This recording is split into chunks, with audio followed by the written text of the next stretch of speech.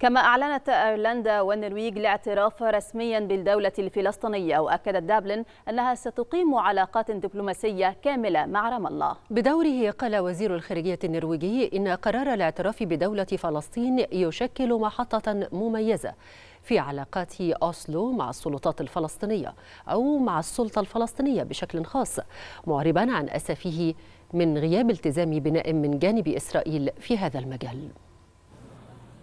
الثامن والعشرون من مايو يوم لن يمحى من الذاكرة العربية مع دخول اعتراف إسبانيا والنرويج وأيرلندا بالدولة الفلسطينية حيز التنفيذ. بهذه الخطوة تكون 145 دولة قد اعترفت بدولة فلسطين من أصل 193 دولة عضو في الأمم المتحدة وتغيب عن هذه القائمة غالبية الدول الأوروبية الغربية وأمريكا الشمالية وأستراليا واليابان وكوريا الجنوبية الغربية ورغم رمزية الإعلان تأمل الدول الثلاث في أن يدفع هذا الزخم دولا أخرى في الاتحاد الأوروبي إلى الاقتداء بها والاعتراف بدولة فلسطين. وقبل العدوان الإسرائيلي الأخير على غزة كانت فكرة اعتراف دول غربية بدولة فلسطين مرتبطة بنتائج المفاوضات الفلسطينية الإسرائيلية والتي توقفت منذ أبريل من عام 2014 اعتراف الدول الثلاث بفلسطين أثار خلافات داخل البيت الأوروبي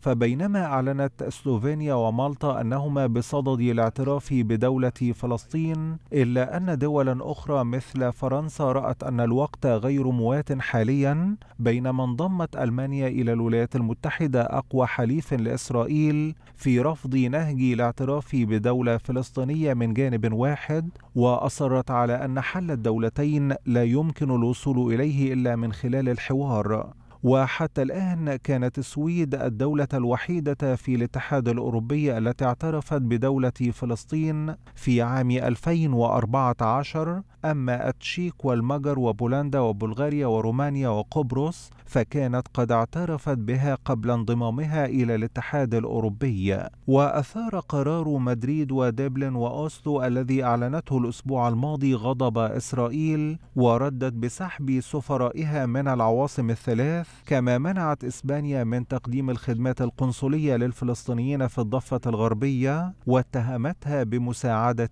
حماس. إن مصر أدانت منذ البداية استهداف وقتل الأبرياء وترويع جميع المدنيين من الجانبين وجميع الأعمال المنافية للقانون الدولي والقانون الدولي الإنساني.